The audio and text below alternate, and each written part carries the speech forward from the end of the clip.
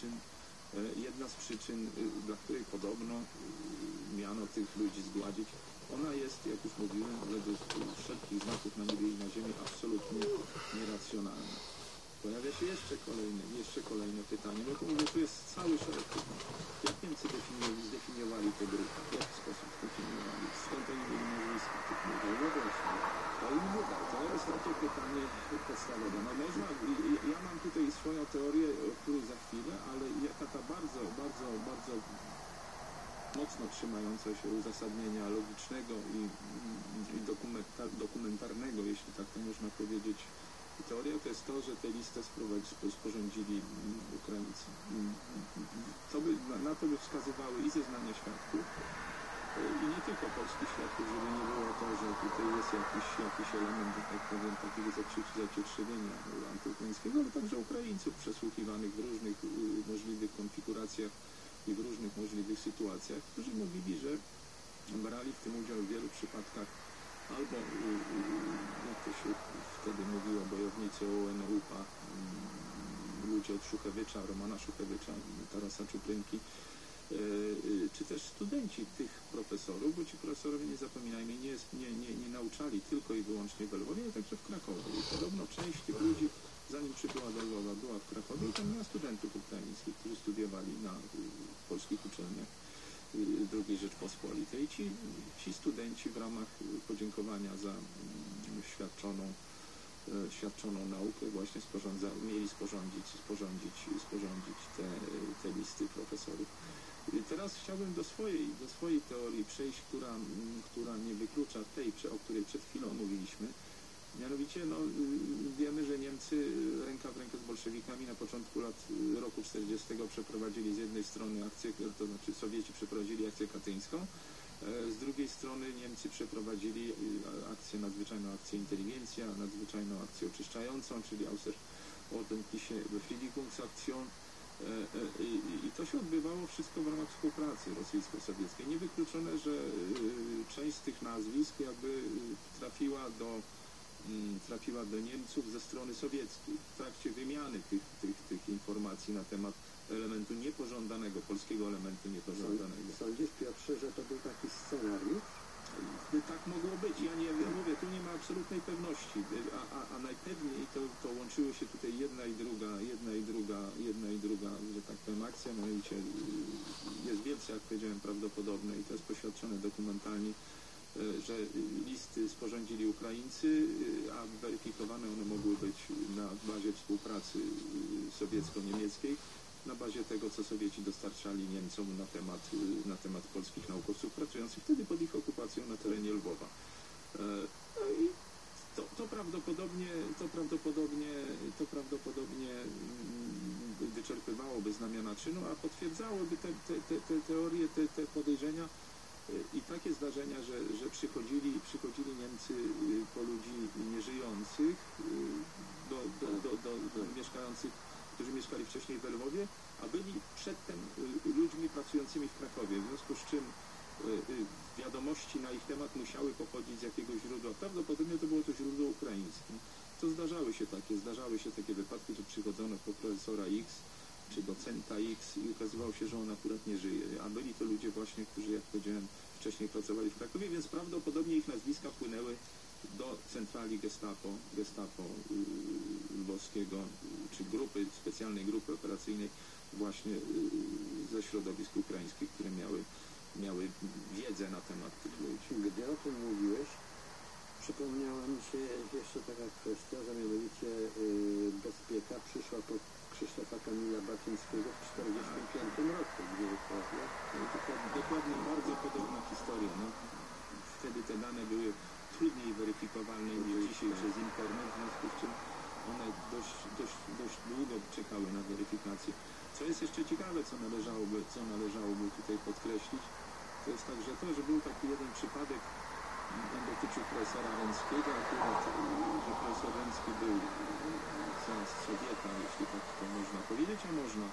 Aresztowanych na podstawie donosów żydowskich i, i, i, i, i, i, i, i trzymany przez NKWD, a potem, y, kiedy udało mu się z łap NKWD wydobyć, był jednym z pierwszych, którzy zostali aresztowani właśnie w tej, tej dramatycznej nocy z 3 na 4 lipca przez Gestapo i akurat Gestapowcy mu się nie udało uciec, został rozstrzelany właśnie u, stóp wzgórz Góleckich. To są wiadomości, informacje pochodzące zeznań jego wnuka, który, który doskonale wiedział od dziadka, jak to się stało, że został za Sowieta aresztowany i potem, i potem no, od, od, od rodziców, od rodziców że, że aresztowano dziadka, no, że aresztowano dziadka i, i, i, i, i rozstrzelano u stóp wzgórz Góleckich, jak mówiłem. I teraz może tak, y, może y, o- opiszmy y, modus operandi. Mianowicie, Ale przepraszam cię, Piotrze, a kto wydał decyzję o tym? no i tu- właśnie chciałem, mówiąc o tym modus operandi, y, przejść do, do, też do decyzji. Zacznijmy więc od samej decyzji. Tak naprawdę można jedynie domniemywać, to tak samo odwołałem się do, do, do działań bezpieki, odwołałem się do naszych rozmów o pomordowanych księżach. Tak naprawdę, tak jak w przypadku pomordowanych księży, możemy domniemy w PRL-u, możemy domniemywać, kto wydał rozkaz. Żadnego śladu pisemnego nie ma i to jest dokładnie to samo.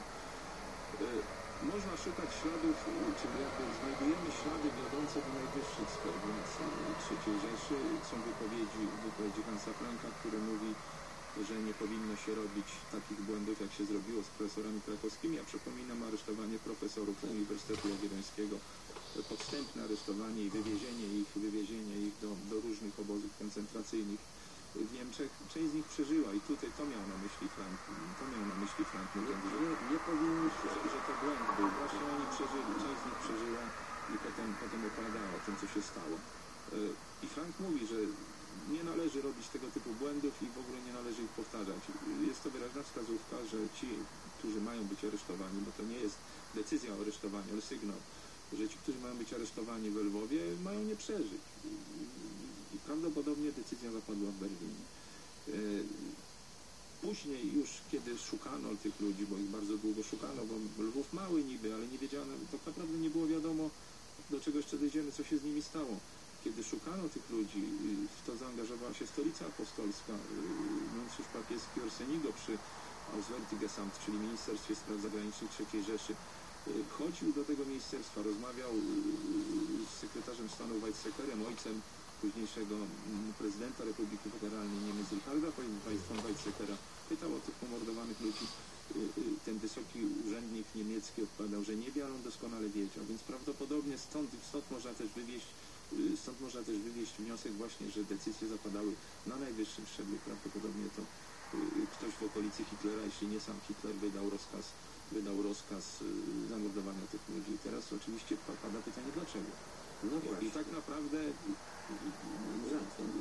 nie wiemy. No mówiliśmy na samym początku, że były podejrzenia i, i, i, te podejrzenia, one się wydawały potwierdzać na, po, początkowo. Te potwierdzenia, y, te, te, te, te, te podejrzenia y, współpracy z Sowietami, kiedy podobno szef gestapo tej, tej Einsatzkommando, y, Einsatzkommando, który, który, który przybył do przybył do, do, do Krakowa, to był, on się nazywał Eberhard Scheingart, wtedy, wtedy, wtedy był w stopniu, w stopniu Oberführera. Te, tego stopnia nie da się na polski, na polski przetłumaczyć, czyli tak powiem bezpośrednio to był, to był oficer między generałem a, a, a pułkownikiem. To, to, to trudno powiedzieć, co to było. W każdym razie on, on, on, on przemawiając, czy jakby motywując pluton egzekucyjny, o którym też nic nie wiemy, o czym za chwilę, mówił, że tutaj będziecie strzelać zaraz i mordować żydowskich zdrajców, żydowskich zdrajców, zdrajców ojczyzny i, i, i tych, którzy przyczynili się do żydowsko-sowieckich zbrodni. Nie miał po temu jakichkolwiek, jakichkolwiek przesłanek, żeby tak mówić. Na każdym razie tak, tak, tak, tak mówią dokumenty, tak mówią wspomnienia. E, I, i to jest jedna z przyczyn, prawda? To podejrzenie o współpracę z Sowietami. Druga to jest być może jak wyciąg dalszy tych akcji, o których mówiłem, czyli akcji pozbawiania głowy polskiego społeczeństwa, czyli mordowania, mordowania elit. To, to, to jest najbardziej się prawdopodobne. To by się wpisywało w historię, w konieczność, y, którą Niemcy sobie wymyślili, bo sobie ją wymyślili. Mówiło się też o, y, to niemieccy historycy mówią Dieter Schenk, taki dość, taka dość pozytywna postać, prawnik, może bardziej niż historyk, zajmująca się y, między innymi tymże mordem, a także mordem na, na, na polskich pocztowcach z Gdańska. Mm, On mówił o antysemickim wątku tutaj tego, te, tej zbrodni, co jest, co, co się nie utrzymuje w świetle źródeł naszej wiedzy, bo, bo ci ludzie byli, nie byli mordowani jako Żydzi, a dodajmy, że y, wśród nich były dwie czy trzy osoby, ja nigdy nie prowadziłem takiej statystyki, bo ona jest błędna, ale były dwie czy trzy osoby pochodzenia żydowskiego, ale absolutnie nie przyznające się do tego pochodzenia i jakby deklarujące swoją polskość, o czym też będziemy jeszcze e, za chwilę mówić, bo to wypływało w trakcie tych dramatycznych zdarzeń, o których tutaj mówimy.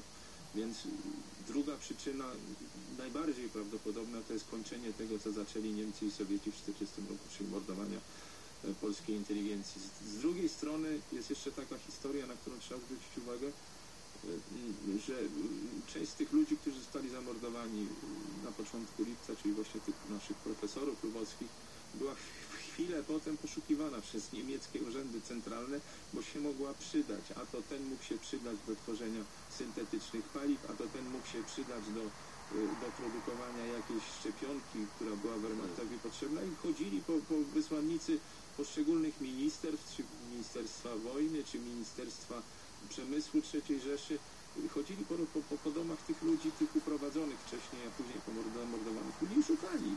Pytali się, a no gdzie jest profesor X, gdzie jest profesor Y, jakby potrzebny właśnie do produkcji tej benzyny syntetycznej, a ten jest potrzebny właśnie do produkowania tej szczepionki.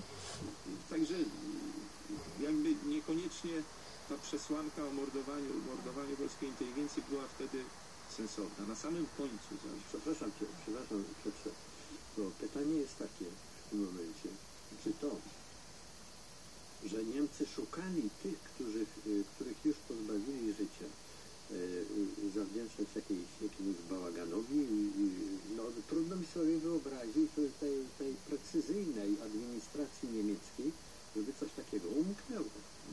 To, to, znaczy, ja właśnie chciałem użyć, zanim, zanim zadałeś to pytanie, chciałem użyć słowa bałagan, który jest trudny do zrozumienia, ale to wtedy mamy, tak powiem, nie mamy jakichś szalonych napięć, bo Sowieci zostali wygonieni, organizuje się, organizuje się administracja, w związku z czym bałagan trudno go zaakceptować. Mogło być to robione po prostu i było, tak jak później się okazało, w tak głębokiej tajemnicy, że nie, nie wiedziała lewica, co czyniła prawica. E, Natomiast no, pewien, brak koordynacji, skoro ci ludzie byli potrzebni, y, jest widoczny. Co by nie przeczyło jednak y, no, temu, temu, pytaniu, czy jakby tezie, którą postawiłeś. No to, to, jest, to, jest, to jest taki element. Jest w końcu taki element czysto praktyczny, znaczy jest ten element ukraiński, który, który, który być może już wtedy próbował próbował samostijną Ukrainę poprzez oczyszczanie z lachów miejsc, które były jakby uznane za ukraińskie y, bardzo istotnie, bardzo istotnie przyspieszyć i, prowokować w ten sposób Niemców do tego. Znaczy to znaczy generalnie z tym też bym się y, mógł zgodzić, y, gdybyśmy mieli absolutną pewność, że Niemcy kupią tego typu przepraszam za kolokwializm, kupią tego typu, kupią tego typu podpuszczanie jakby ze strony Ukraińców. Ale można, można założyć, że to było, że to było przyjemne z pożytecznym, jeśli, jeśli też można użyć tego określenia. Ukraińcy swoje osiągnęli, Niemcy zrobili to, co chcieli w jakiejś tam wymiarze zrobić. I jest jeszcze jeden taki element czysto materialny. Y, Część mieszkań tych mo- pomordowanych y, profesorów raz, że została ograbiona z dóbr, y, które oni posiadali, no proszę sobie wyobrazić, polski przedwojenny inteligent zasiedziały w Lwowie, czy też taki, który przyjechał z Krakowa z całym swoim majątkiem. Ile tam było dzieł sztuki, ile tam było obrazów, same mieszkania były ważne. Część z tych mieszkań została zajęta potem przez Ukraińców e, wysoko postawionych w administracji lokalnej, między innymi przez brata szefa policji policji ukraińskiej w Lwowie. E, Są też zeznania, no, jakby absolutnie poświadczone i, i, i, i, i, wiarygodne o tym, że mm, część dóbr, o których wspominałem przed momentem, obrazów, mebli, zegarów, y, widziana była mm, w Krakowie w antykwariacie żydowskiego mm, antykwariusza, który nazywał się Sztyglic i to była taka dziwna dość postać, bo otrzymała e, z rąk jednego z gestapowców, który znajdował się w tym wąskim kręgu decyzyjnym, decyzyjnym w Lwowie, mm, który prawdopodobnie zajmował się także tymi wspomnianymi przez nas, wspominanymi przez nas y, profesorami, profesorami lwowskimi, przepustkę na poruszanie się po całej generalnej guberni ze zgodą na nienoszenie opaski. E, I ten człowiek zajmował się paserskim, e, paserską dystrybucją, paserską dystrybucją, dystrybucją, dystrybucją dóbr zagrabionych w mieszkaniach, w mieszkaniach profesorów w trakcie y, ich aresztowania. Tu mi się przypomina, że e, poda- gdzieś czytałem o tym, że z mieszkania, z willi profesora Kazimierza Bartla wywieziono na przykład książki naukowe, tylko naukowe do Berlina. Pozostałe spalone. Tak, tak, to też, to też miało miejsce. To palenie odbywało się nie, w, czasie, w czasie aresztowań w wielu przypadkach na bieżąco, ale to jeszcze o tym za chwilę. Dodam tylko, że wspomniany antykwariusz y, przeżył wojnę, potem mieszkał w Nowym Jorku, w Polsce Ludowej się pojawiał. Była jeszcze jedna postać taka bardzo dziwna, Holender. Y, y, Holender, on się nazywał Pieter Nikolas Menten. Jego też się podejrzewa o udział, by był handlarzem biosztuki, jego też się podejrzewa o udział w, tej- w tej całej y, aferze, w tym całym mordzie, bo chciał zagrabić, y, zagrabić y, majątek profesorów, który niewątpliwie znał. On mieszkał w Lwowie od dłuższego czasu. Bodajże zamieszkał w tym mieście tam w granicach w połowie lat 20., w końcu lat 20. ubiegłego stulecia. Znał doskonale środowisko. Widziano go przemieszczającego się po bo nie było SS bez dystynkcji, co prawda, ale widziano go. To, to jest też osoba, On miał powolny proces. Miał, miał proces, ale nie został tak naprawdę skazany. Dziwne, bo też przyjeżdżał, zdaje się, do PRL-u, o ile dobrze pamiętam. W aktach, które przeglądałem, pojawiają się jakieś sugestie, że współpracował e, z UB czy ze Służbą Bezpieczeństwa Polską, e, będąc, będąc w Holandii. No to go bo- przykryli po prostu. Prawdopodobnie tak to wyglądało, tak jak w wielu przypadkach, jak w przypadku tych zdrajców, którzy zdradzili Grota Roweckiego, czyli Kaczorowskie i Karksteina. To, to, to jest bardzo prawdopodobne. No takie tam sugestie się pojawiały. No więc mamy taki, taki pakiet przyczyn, i, przyczyn tego mordu ideologiczno, materialno-politycznych, tak to nazwijmy. E, I to powinno nas może nie tyle y, zaspokoić w naszej chęci zdobywania wiedzy na ten temat, tylko po prostu no, więcej w tej chwili prawdopodobnie e, prawdopodobnie z tego wszystkiego nie, wybędziemy, nie wydobędziemy. Ja tylko dodam jeszcze, że żaden z Niemców, który, e, który był podejrzewany e, o, o udział w tym mordzie, to już chyba mówiłem na samym początku, nie został skazany. Oni byli skazani przed sądami zachodnio-niemieckimi, o sądach wschodnio-niemieckich to już w ogóle nie, w ogóle nie ma co mówić, bo oni tam, tam raczej tego, raczej mówię, tego nie robili. Y, Wszyscy ci, ci gestapowcy, których tam połapano, których udało się złapać, y, po którym świadczyli polscy świadkowie, o czym też proszę przypomnij mi, chciałbym jeszcze powiedzieć na samym końcu, e, e, y, byli sądzeni za Holokaust i byli skazywani za, za udział w mordowaniu Żydów, natomiast żaden z nich nie został, żaden z nich nie został skazany za zamordowanie profesorów lwowskich. I teraz właśnie może do samego modus, modus operandi, jak to się, jak to się działo. Otóż y, mamy noc z 3 na 4, czy wieczór z 3 na 4 lipca do drzwi wybranych, o których przed chwilą mówiliśmy, nie nazywając ich z imienia i z nazwiska, do drzwi wybranych, wybranych profesorów łomotą, łomoczą, ktoś łomoczy. Drzwi są otwierane, no bo, no bo są otwierane. Ludzie są generalnie prze, przerażeni, bo to się ten Blutrausch, czyli, czyli szaleństwo takie krwi, w oparach krwi, tam po tych mordach y, ukraińskich i, i, i, później niemieckich na Żydach, y, ludzie są przerażeni, no i, i i co, no otwierają się drzwi, okazuje się, że przed drzwiami każdego z tych ludzi, o których mówimy, stoi oficer, oficer gestapo. Przebiegają, przebiegają te, te, te aresztowania, te aresztowania bardzo różne. Od grzecznej rozmowy, ale to, jest, to są raczej wyjątki, poprzez wyprowadzenie człowieka, którego aresztowano do samochodu, wywiezienie go do bursy Abrahamowiczów, tam był taki punkt zborny, po bicie y, obelgi, krzyki, y, wyrzucanie mm, zawartości kółek na podłogę, terroryzowanie rodzin, kradzież. Kradzież się odbywała na bieżąco, gestapowcy kradli, są zeznania świadków, zeznania rodzin, tych, które też nie zostały, tych członków, którzy nie zostali rozstrzelani w tejże egzekucji, y, że, że kradli. W przypadku profesorów Uniwersytetu Medycznego, tak go nazwijmy, czy, czy, czy Akademii Medycznej, było paru dentystów. Oni mieli w domu y, złoto dentystyczne najwyższej, próby.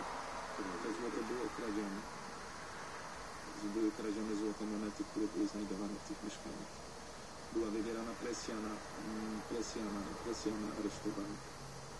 Była wywierana presja w różnej, w różnej formie. Skąd my to wszystko wiemy? No wiemy właśnie z zeznań, zeznań rodzin, Wiemy także y, zeznań jedynego ocalałego z tego pogromu, y, mianowicie profesora Franciszka de Greur. O tym, o nim za chwilę.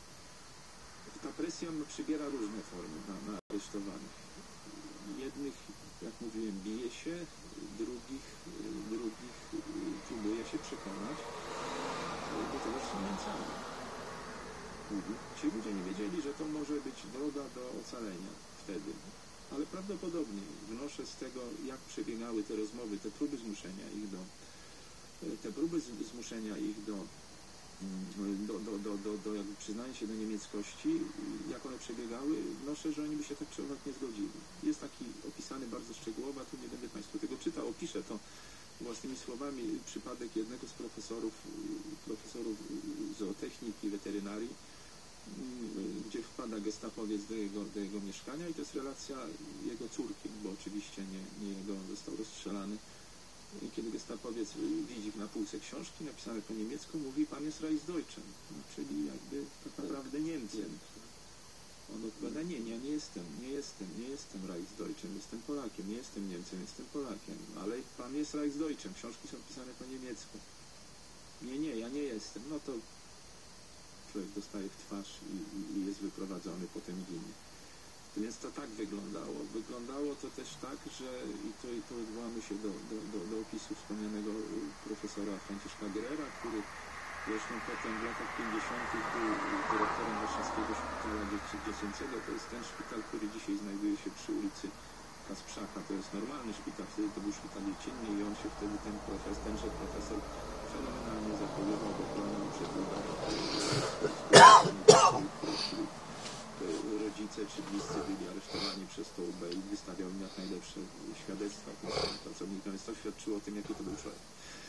To jest taki bardzo charakterystyczny, że tak powiem, moment aresztowania, bo oczywiście też gestapo wpada, jest wrzask, jest krzyk, y, chyba nawet w zeznaniach, zeznaniach profesora pada takie określenie, zachowywał, zachowywali się jak wściekli o tych gestapowcach i nadchodzi taki moment refleksji, przeszukujący mieszkanie znajduje dużą liczbę wizytówek angielskich dyplomatów, konsulów i pyta się, wyrzucając profesorowi, że nie przyjął, bo mógł przyjąć Volkslisty czy też Reichslisty, to też był taki tutaj element podobny do tego opisanego powyżej, e, e, mówi mu, a skąd ty masz te, bo rozmowa odbywała się na ty, proszę sobie wyobrazić, starsi ludzie ze statusem szanowani w Polsce przed wojny, to wpadają policjanci, no bo ci gestapowcy są faktycznie policjanci i traktują ich z buta, jak to się ładnie dzisiaj mówi, ty, czy, czy, czy skąd ty, ty to masz? On mówi, no bo moja żona jest Angielką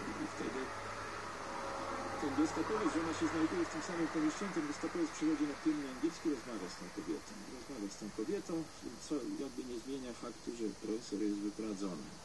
I to jest o tyle istotne to, to istotne to zdarzenie, że tak jak powiedziałem, profesor jest jedynym, który ocalał z tego, z tego który przeżył z osób zainteresowanych, tak to nazwijmy, bo tam więcej osób zwolniono, ale one, one, one, one jakby nie były ze stanu profesorskiego.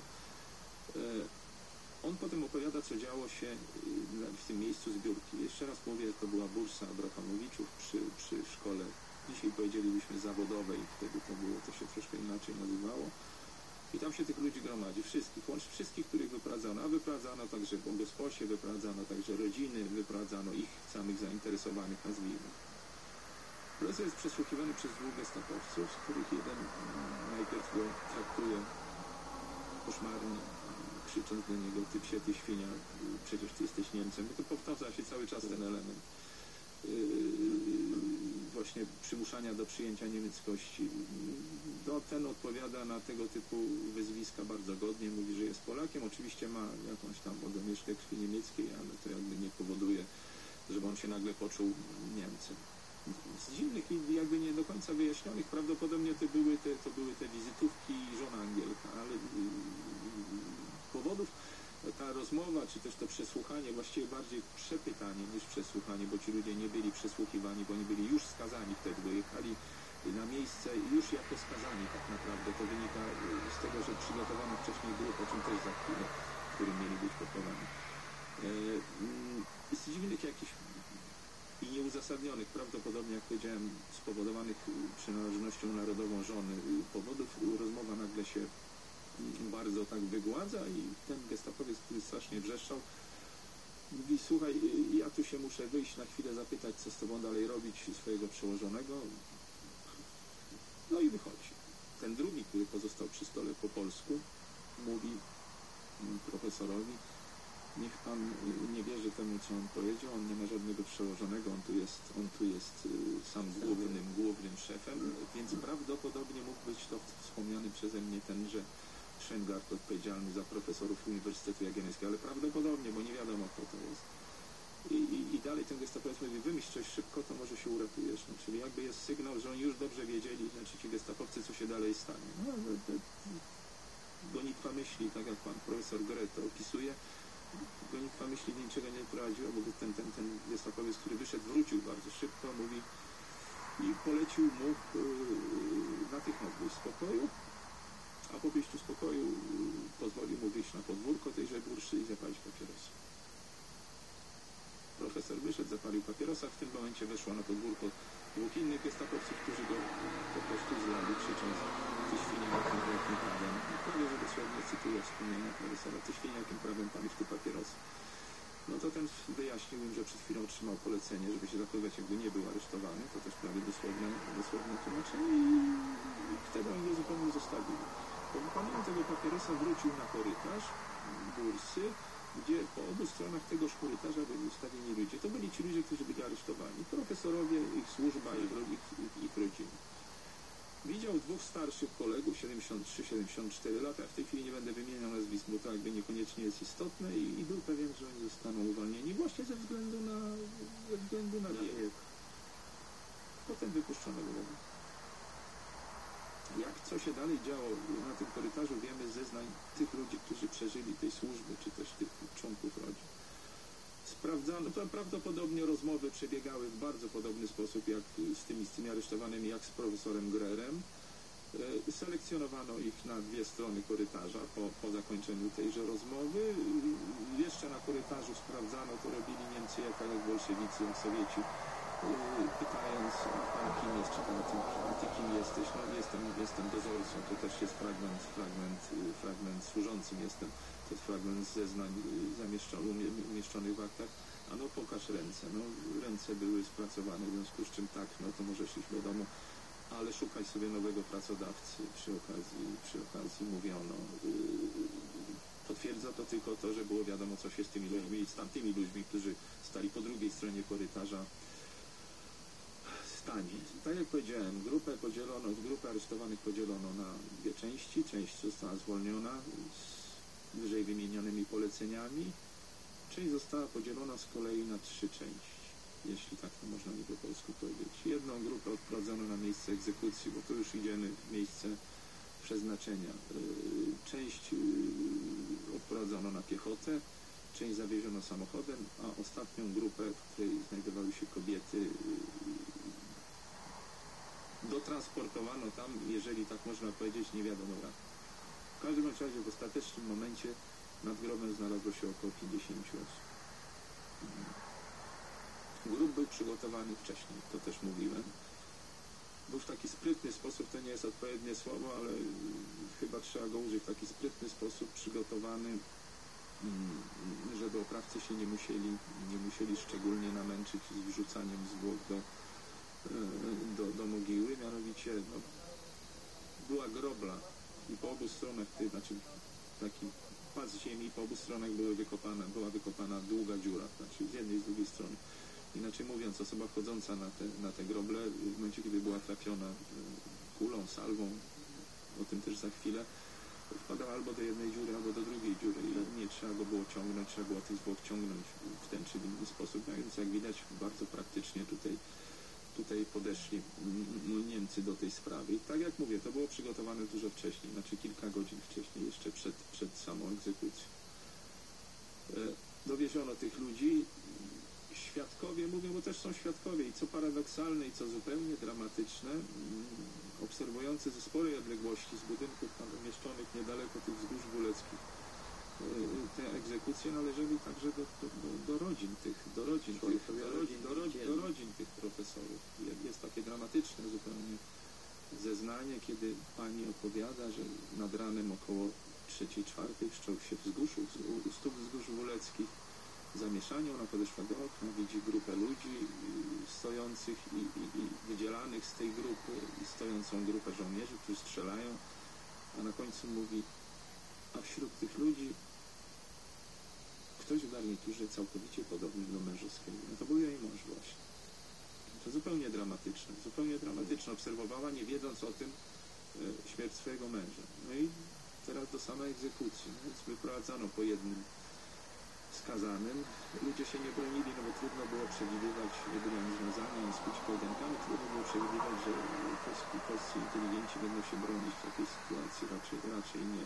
Starsi ludzie na dodatek, nieprzyzwyczajeni do stosowania przemocy, to szalenie ważne i bardzo mocno to trzeba, trzeba podkreślić. Y, Sama egzekucja wyglądała tak, jak powiedziałem, że wyprowadzano, czy jakby doprowadzano jedną osobę, y, strzelało do niej trzech, czterech, sześciu. Tego też do końca nie wiadomo, bo to było obserwowane z pewnej odległości, trudno było określić liczbę strzelających.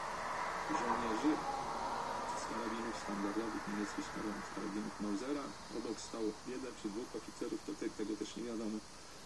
Zmarłych miano nie dobijać, według innych, innych świadectw dobijano, znaczy zastrzelonych. Egzekucja sama trwała podobno około 40 minut i przebiegała bez jakichś szczególnych zakłóceń. Tam były trzy czy cztery takie, y, jakby, jeśli można użyć słowa, zakłócenia przebiegu, to znaczy jak ktoś wpadł do grobu wcześniej, prawdopodobnie udając zabitego, potem z tego grobu wyskoczył, no ale oczywiście został zabity. Ktoś próbował do tych oprawców, do żołnierzy strzelających coś mówić, któryś profesorów, bo to jakiś starszy człowiek miał być, a na samym końcu dowleczono jakieś zwłok, jak, jakąś omdlewającą osobę, była to prawdopodobnie któraś z kobiet nad i tam ją zastrzelono. Bardzo szybko po tym, mówię 40 minut, 50 osób prawie, zasypano te groby, obsiano zielskie, no i obsiano na tyle skutecznie, że po dwóch latach nie było wiadomo, bardzo szybko nie było wiadomo, gdzie to w ogóle się stało, a po dwóch latach już w ogóle nie było wiadomo, ale to o tym też za chwilę, bo to jakby, to jakby, to jakby jest inna historia. Profesorów uprowadzono, zabito, już wiemy jak to wyglądało. Rodziny rozpoczęły poszukiwania. Mówiłem o poszukiwaniach prowadzonych przez y, Watykan, y, gdzie do najwyższych czynników III Rzeszy się do, dochodzono. Mówiłem o poszukiwaniach na miejscu, czyli odpytywaniu gestapowców, którzy tam gdzieś jakieś kontakty, prawda, zawsze musiały być. Y, Niemców generalnie w zasadzie nikt, nikt nie, pary z ust nie puścił i, i, i, nie powiedział, co się z tymi ludźmi stało. Był jakiś jeden przypadek, który bardzo podobny do tego, do tego Mierkułowa, który powiedział o, o oficerach w Katyniu, my z nimi zdjęli bolszewie, a szybko i podobno jeden z Niemców w rozmowie z jedną rodziną też tak powiedział, my popełniliśmy z nimi bardzo wielki błąd, ale to jakby nic nie dawało. No nie było wiadomo, co z tymi ludźmi się stało. Y, W momencie, kiedy Niemcy zaczęli dosta, dostawać łupnia, to są, to jest, to jest, to jest 43 rok, no to wiemy, to wtedy odkryto Katyn i tak dalej, postanowili zacząć zacierać mm, ślady swoich zbrodni. Wśród tych zbrodni była właśnie także ta egzekucja u stóp wzgórz Buleckich z 41 roku. I tutaj wracamy do tego, o czym przed momentem mówiłem, a mianowicie y, w okolicach października, konkretnie 8 października, to jest akurat świę- święto Jom Kippur, to jest nie bez znaczenia mm, żydowskie święto, yy, wybrano grupę, grupę Żydów, to się nazywało Sonderkommando, czy Komando 1005, Yy, wysłano ich pod te wzgórza buleckie yy, i polecono odszukać Mogiłę. Yy, Nie mogli tego zrobić, w związku z czym wezwano jakiegoś któregoś z gestapowców, to mogło wskazywać, że to akurat ten człowiek też brał udział w tym, który przybył z, z, z siedziby gestapo w Lwowie i bardzo szybko palcem pokazał, w którym miejscu e, są te porośnięte trawą groby. Odkopano je i oni, ci, to, to, ci, ci biedni Żydzi, którzy w większości zostali potem wybici przez Niemców, też tego mm, nie, nie wiedzieli, kto tam leży. Ale w momencie, kiedy odkopano groby, i kiedy zaczęto wyciągać zwłoki z tych zwłok, znaczy z ubrań tych zwłok zaczęły wypadać takie jakieś elementy własne, jeśli tak można powiedzieć. A to Dokument. zegarek, a to jakiś dokument. Ci ludzie byli generalnie pozbawieni przed egzekucją dokumentów, właśnie żeby nie można ich było zidentyfikować. Prawdopodobnie jednak ze, względu na to, że to robiono bardzo szybko wtedy, nie wszystko udało się wyjąć. Jak znaczy, za- zaczęły te rzeczy wypadać, te zegarki, te doku- dokumenty, te, te, te, te wizytówki, czy, czy jakby nawet nazwiska na ubraniach, które się pojawiały, to się zorientowano, kto to jest. I w tym momencie sprawa stała się jasna. Stało się jasne, czyli październik 1943 roku, wiemy, co się z tymi ludźmi stało. Zostali zamordowani przez Niemców. Co było dalej? Y, Te zwłoki y, w ramach jakby likwidowania śladów popełnionej zbrodni y, wywożono do lasów krzywczyckich. I to wiemy właśnie z opisu jednego z tych Żydów, którzy, którzy ocaleli. On się nazywał Leon Gieliczkier. I w zeznaniach i we wspomnieniach swoich wydanych bodajże w Nowym Jorku dokładnie opisuje. Wykładano takie rusztowania 10 na 10 na 10 z podkładów, z drewna leśnego i tam rzucano trupy. Takich trupów spalono setki tysięcy, żeby pokryć te zbrodnie niemieckie. No i palono, i palono, i spalono tych ludzi. Nie, nie, ma, nie ma śladu po nich, nic, nie, nic po nich nie zostało. Y, I tu w zasadzie można powiedzieć, cała historia się skończyła. Skończyłaby się, gdyby nie, nie, nie chęć, y, chęć rodzin, które chciały dojść zadośćuczynienia, które sprawę utrzymywały y, i utrzymują nadal, bo, bo dalej walczą o, o to wszystko. Ostatecznie sprawy sądowe, prokuratorskie, śledztwa y, były dwukrotnie czy trzykrotnie umarzane w IPN-ie, bo to IPN się na samym końcu tym zajmował. Y, W wielu przypadkach y, rodziny jednak nie zaprzestały tych poszukiwań, jakby działań określenia sprawców. Sprawców, tak jak powiedziałem, do dziś nie zdefiniowano. Na samym początku, po przegonieniu bolszewików z, z, z, z Lwowa przybyła dziewięcioosobowa grupa gestapowców pod dowództwem tego Sztendarta, o którym wspominałem, bardzo wysokich oficerów, wśród nich byli podoficerowie i oficerowie, prawdopodobnie oni byli z tym związani. Ale nie ma żadnego materialnego dowodu. Jeden, z- jeden z gestapowców, ale akurat nie z tych, o których mówię, yy, szef gestapo yy, w Stanisławowie, Heinz Krieger bodajże, znaczy Krieger na pewno, to nie pamiętam, czy był Hans, czy Heinz, yy, przyznał się w rozmowie z aresztowaną hrabiną Landskorońską yy, do tego, że brał udział w tym mordzie i ona świadczyła potem, sama przyjechała do Niemiec, do Hamburga bodajże na, na proces tego gestap, tego potwornego gestapowca, tego mordercy. Sąd odrzucił jej świadectwo i, i, i powiedział, że on się przechwalał tylko. Także y, tutaj mamy kolejną, kolejną, że tak powiem, kolejną nie wiadomo kto. Wiemy prawdopodobnie dlaczego, wiemy jak, wiemy ilu. Nie wiemy kto tak naprawdę i przyczyn, przyczyn, przyczyny, o przyczynach też możemy, jak mówię, dyskutować. Piotrze, niewiele czasu nam zostało. Co z tym pomnikiem? Bo to też była jakaś... Dramatyczna Dramatyczna zupełnie historia. Znaczy tu jest taka, taka, taka, taka, taka bardzo zła rzecz. Jak czytałem akta, bo czytałem akta nerdowskie, czytałem akta y, rosyjskie, sowieckie, ukraińskie, Ukraińskiej Republiki Socjalistycznej, tam się nigdzie nie pojawia, mm, nigdzie nie pojawia określenie polscy profesorowie. Są zawsze jacyś inteligenci, intelektualiści, kompletnie odnarodowieni. Y, Strona polska bardzo mocno do pewnego momentu utrzymywała, tak powiem, właśnie polskość tych, tych nawet, nawet w PRL-u, tak na tyle, na ile było można, mówiono o, o, o profesorach, polskich profesorach lwowskich. Yy, Stał pomnik poświęcony tam w miejscu egzekucji, stał pomnik, który, który mówił o polskich profesorach pomordowanych. Pomnik w pewnym momencie zbezczeszczony przez kogoś, kogoś, kogoś w Lwowie. Umieszczono tam napis Smrt Lacham, czyli śmierć Polakom.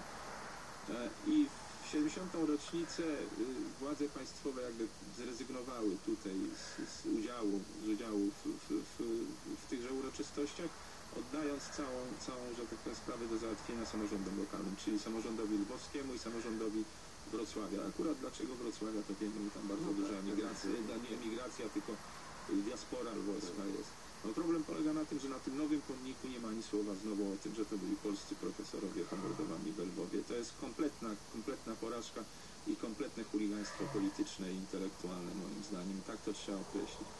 A na samym końcu powiem tylko, że rodziny, rodziny jeszcze przed tą 70. rocznicą rodziny y, pomordowanych wystąpiły do, mm, do zarówno prezydenta Ukrainy Leonida Kuczmy, jak i prezydenta Republiki Federalnej Niemiec o takie moralne, powiedziałbym, zadośćuczynienie rodziny pomordowanych profesorów za moralne zadośćuczynienie tej zbrodni ze strony ukraińskiej nie doczekały się żadnej odpowiedzi, ze strony niemieckiej doczekały się bardzo takiej formalnej odpowiedzi, że tutaj nie ma szans na, na, na załatwienie tego. Nie ma komentarza. To znaczy może i należałoby, ale poczekamy na, na stosowniejszy mówił. E, Dziękuję pięknie. Gościem Państwa, gościem Radia dla Ciebie był dr Piotr Łysakowski do usłyszenia za tydzień. To była powtórka audycji.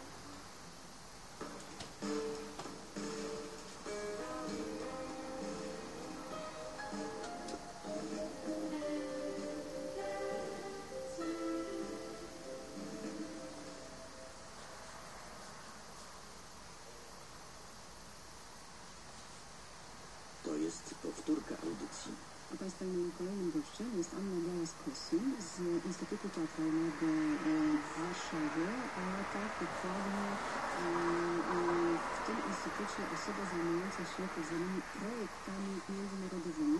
Bo to jest właśnie to, o czym troszkę mniej się mówi e, w momencie, kiedy się mówi o działalności Instytutu Teatralnego, która jest nieprawdopodobnie szeroka i powiem Ci, że ja czasami sama się łapię za głowę. Ja też. Co wy tam robicie i czym się zajmujecie rzeczywiście. Mm, No i o tych międzynarodowych projektach mówię troszkę mniej. W ubiegłym roku było głośniej, kiedy przywieźliśmy nagrody z Pragi, prawda? Tak. E, Natomiast e, to jest, to jest, ta, to jest rzecz, która się odbywa co parę lat. To nie jest co, coroczna impreza, tylko co, co 4 co cztery lata, no więc właśnie. Mm, Więc już w tym roku się nie będzie można tym pochwalić. E, Natomiast e, rozumiem, że dzieją się inne rzeczy gdzieś właśnie na tej niwie międzynarodowej. Tak, tak zdecydowanie te y, projekty międzynarodowe, tak jak wspomniałaś, są mniej widoczne w kraju, ponieważ odbywają się e, za granicą po prostu. E, natomiast e, z, tym projektem praskim, o którym e, też byłam u Was w zeszłym roku, e, jest to mm, ta wystawa Postapokalipsis, która została stworzona Mhm. wspólnie z artystami z Poznania I nagrodzona. i nagrodzona. Była również pokazywana w Polsce. W zeszłym roku we Wrocławiu i w Bydgoszczy. W tym roku e, gościła w Katowicach, w Muzeum Śląskim i w Poznaniu w Teatrze Polskim. A do Warszawy w końcu przyjedzie? Nie, bo ponieważ właśnie tym, y, tym poznańskim pokazem zakończyliśmy tą wystawę, ale ku ym, takiemu myślę, że zaskoczeniu, w pewnym sensie ta wystawa będzie dalej istniała, dlatego że ym, narodził się z tego nowy projekt. To znaczy drzewa, które były prezentowane w Pradze i potem w Polsce zostały w zeszłym tygodniu zezłomowane w Poznaniu do takiego jednego obiektu dziwnego, takiej powiedzmy współczesnej rzeźby. E, Został nakręcony film i będzie, ta, y, będzie ten obiekt prezentowany w Poznaniu najprawdopodobniej pod koniec roku i potem jeszcze jakiś projekt, jakieś działania nasi, nasi artyści planują. Także mam nadzieję, że będzie gdzieś to postapokalipsis dalej swoim życiem już nowym, czy takim przetworzonym y, żyło i, i mam nadzieję, że, że będzie, będzie to dalej kontynuowane. Też nasi, nasi artyści y, zawiązali taki kolektyw, więc jest jakby dodatkowy efekt tej naszej współpracy po kwadriennale i będą między innymi w y, grudniu prezentować taki nowy projekt też u nas w Instytucie Teatralnym, także być może będzie okazja, żeby tutaj przyszli i o tym opowiedzieli sami. W porządku, to um, uprzejmie proszę pamiętać, żeby nas o tym poinformować, żeby rzeczywiście oni przyszli i o tym, i o tym opowiedzieli. A jeżeli chodzi o kwadriennale, to y, y, już trwają przygotowania do tego następnego, które będzie za trzy lata. W pewnym sensie tak, dlatego że y, Quadriennale ma w tej chwili nową dyrektor artystyczną. Został, y, Sobia Lotker zrezygnowała ze swojej funkcji, został ogłoszony konkurs nową dyrektorką została Marketa y, Węgel, która która była związana z y, y, produkcją amerykańskiej y, ekspozycji na ostatniej edycji Quadriennale i ona mm, zawiązała taką współpracę z częścią partnerów, między innymi również z nami. Jest, nam, jest nam bardzo miło z tego powodu i zaprosiła nas do takiego nowego międzynarodowego projektu, który będzie się dział właśnie przez te lata między poszczególnymi edycjami. W tej chwili jakby koncept tego, tego projektu jest przygotowywany. Będziemy aplikować w październiku do programu Kreatywnej Europy, żeby pozyskać jakby środki finansowe międzynarodowe na jego realizację. Więc gdzieś cały czas, pomimo tego, że to nie jest widoczne, to gdzieś cały czas to ale jest takim naszym projektem, który staramy się realizować też między poszczególnymi edycjami, myśleć o całej koncepcji w ogóle współczesnej no bo, no, bo, scenografii. no bo pewnych rzeczy nie da się zrobić z dnia na dzień. No, tak, Dokładnie. To- Po to są, e, e, te- te- też pewnie dlatego się to odbywa co 4 lata, żeby mieć e, czas na to, by czymś naprawdę interesującym wystąpić. No, ten sukces też się nie wziął znikąd. Tak, tak. Pamiętam, jak rozmawialiśmy w ubiegłym roku, że to też było za dwa lata przygotowań do tego, żeby w tej Pradze wystąpić i osiągnąć taki efekt, jaki został osiągnięty. E, Więc e, tak, o tym się mówi mało. E, Też myślę dlatego, że my dzisiaj jesteśmy nastawieni na bardzo szybki sukces. To znaczy na to, żeby coś zrobić szybko, szybko, żeby to zwróciło uwagę i po czym równie szybko niestety się o tym zapomina. Mm, No a wy pokazujecie, że może być troszeczkę inaczej. Tak, tak, staramy się. Myślę, że też projekty międzynarodowe mają taką swoją specyfikę, że one właśnie rzadko wyrastają z takiego działania na chwilę, i, e, ponieważ często rodzą się poprzez wieloletnie kontakty, takie trochę sprawdzanie siebie, czy damy radę razem coś zrobić. Czasami to się zaczyna od małych inicjatyw po to, żeby właśnie potem zrobić jako jakiś większy projekt. Także troszkę ta strategia działania też jest inna. Mm, Nie no, to myślenie długoterminowe i planowanie no, marzy mi się, żeby da, dało się tak Nie jest to łatwe, pracować. nie jest to łatwe. Domyślam się. Czasami trudno jest właśnie przekonać kogoś po drugiej stronie, kto środki nam na przykład daje na te projekty, że właśnie to nie może być takie, Że to nie będzie jutro. Tak. Mhm, mhm, Właśnie. E, a z czym przychodzisz dzisiaj? E, Dzisiaj przychodzę z takim projektem rezydencyjnym, który ogłosiliśmy wspólnie z Festiwalem Narodowym Mountain. No pierwsze słyszę to czeskie słóweczko radalne, no, które też mi jest dobrze.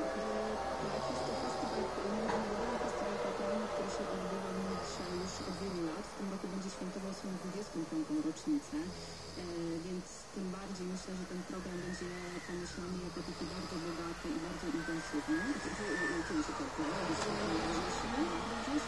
E, ten program rezydencyjny będzie dokładnie między 23 a 29 września podczas festiwalu i jest przeznaczony dla młodych krytyków teatralnych z krajów wyszehradzkich, ale także w tym roku został otwarty i ta grupa została powiększona na uczestników z Ukrainy, Mołdawii i Białorusi. Czyli przychodzisz z informacją, że młodzi polscy krytycy mogą po prostu aplikować o to, żeby na tydzień pojechać sobie na wielki międzynarodowy festiwal teatralny na Słowację. Tak jest, tak Mhm. jest. I tym bardziej zachęcające myślę będzie to, że też nie będzie się to wiązało z jakimiś dużymi kosztami dla nich, dlatego że e, w ramach tej rezydencji i e, grantu z Funduszu Wyszehradzkiego, który udało nam się pozyskać, e, będą mieli pokryte przejazd do Nitry, zakwaterowanie, posiłek, po, jeden posiłek dziennie w trakcie tego pobytu.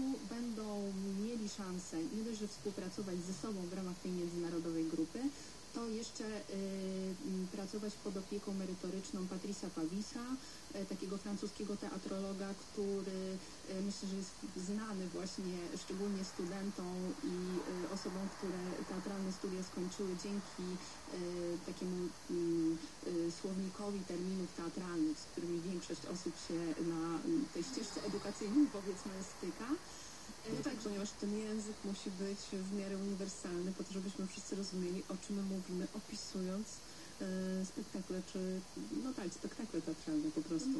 Myślę, myślę, że to jest też e, taka ciekawa możliwość spotkania się i pracy przez te kilka dni, jednak z taką osobą, em, która ma bardzo dużo do przekazania młodym ludziom. E, on też e, jest przez wiele lat był profesorem na Uniwersytecie Paryż 8. e, w tej chwili pracuje na Uniwersytecie w Kent.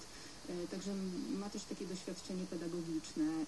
Ten plan y, tej, tej rezydencji jest tak pomyślany, że rano będą takie spotkania właśnie z nim. y, Będą warsztatowe pewnie. tak, Mhm. będą też uczestnicy pisać teksty, także tutaj znajomość angielskiego jest jednym z warunków Wzięcia tak, udziału. jest kluczowy, w- aby wziąć udział w tej rezydencji. Y, Będą mieli okazję też się spotykać z artystami, którzy y, na festiwalu będą gościć. To będą zarówno artyści ze Słowacji, ale też ten program międzynarodowy jest co roku y, bardzo rozbudowany. Też polscy artyści często w gościli. W zeszłym roku Nowy Teatr był z spektaklem Apokalipsis Michała Borczucha. Nie wiem jeszcze kto będzie w tym roku, bo y, ten program jeszcze niestety nie został y, ogłoszony, ale myślę, że będzie to równie ciekawe jak, jak w latach poprzednich, także na pewno takie bardzo intensywne 6 dni w Nitrze y, m- myślę, że może być też takie bardzo przydatne do po prostu rozwoju zawodowego y, młodej osoby, która kończy studia, czy dopiero zaczyna swoją zawodową karierę. Mhm, czyli w takim razie e, do kogo my kierujemy ten przekaz? Do studentów, czy też do absolwentów? I do studentów, i do absolwentów, do wszystkich tych, którzy nie ukończyli 35 lat i Mhm. mają ochotę y, pojechać do Nitry, wziąć udział w tej rezydencji, ale też są otwarci na właśnie takie kontakty międzynarodowe, y, współpracę i y, zdobycie nowego doświadczenia pod, pod okiem Pawisa. Ale czy y, to muszą być studenci właśnie y, wydziałów teatr teatrologicznych? Y, Myślę, że nie mogą być też studenci polonistyki, natomiast w tym zgłoszeniu warto jest napisać o takim swoim doświadczeniu mm, w zakresie pisania, czy w ogóle krytyki teatralnej, czy pisania o teatrze. Y, Mogą to być też osoby, które prowadzą, teraz jest przecież bardzo popularne pisanie bloga teatralnego. Wiele osób to robi, wielu studentów też to praktykuje, także myślę, że takie osoby też jak najbardziej są mile. No jak muszę, ale ja już niestety 35 mam skończone, więc nie mam jak. A chętnie bym pojechała e, na taki intensywny tydzień e, oglądania różnych spektakli teatralnych, e, zwłaszcza na Słowacji, no ale trudno, co robić. E, e, Rozumiem, że informacje na ten temat e, można znaleźć na stronie Instytutu Teatralnego, Tak, tak. tak? Wszystkie, wszystkie informacje i ogłoszenie jest na stronie Instytutu www.instytut-teatralny.pl, ale również na naszej stronie e-teatru, czyli www.e-teatr.pl. To jest taka strona, z, którą, z której myślę, że większość osób szukających informacji o współczesnym teatrze korzysta i zna ten adres świetnie. Dobrze. A ile osób może z Polski pojechać? Mogą pojechać dwie osoby, Mhm, czyli konkurencja może być naprawdę spora, ale też wakacje sprzyjają temu, że ta informacja rzeczywiście nie musi dotrzeć do wszystkich zainteresowanych. Czyli proszę Państwa, jeśli macie w swoim gronie e, młodego pasjonata teatru, to mu o tym powiedzcie, ponieważ może akurat nie słucha w tej chwili radia. Tak, na zgłoszenia czekamy do 15 sierpnia, także jest jeszcze chwilę. Na naszej stronie internetowej jest też formularz zgłoszeniowy, który należy przesłać na adres wspomnianego ogłoszenia. Potem będziemy w drugiej połowie e, sierpnia dokonywać takiej selekcji wspólnie i też y, kontaktować się z, z tymi potencjalnymi uczestnikami. Ym, Także mam nadzieję, y, że y, dostaniemy ciekawe, ciekawe zgłoszenia, ale myślę, że to jest też właśnie bardzo ciekawa możliwość y, rozwoju nowych kompetencji zawodowych. Ktoś z Instytutu też pojedzie po to, żeby się właśnie poprzyglądać temu, co się dzieje na, e, na tym festiwalu Y, Zazwyczaj teatralnym. jest tak, że ktoś od nas jedzie, czasami, bo szczerze mówiąc mam nadzieję, że w tym roku może ja się w końcu wybiorę, bo jeszcze nie miałam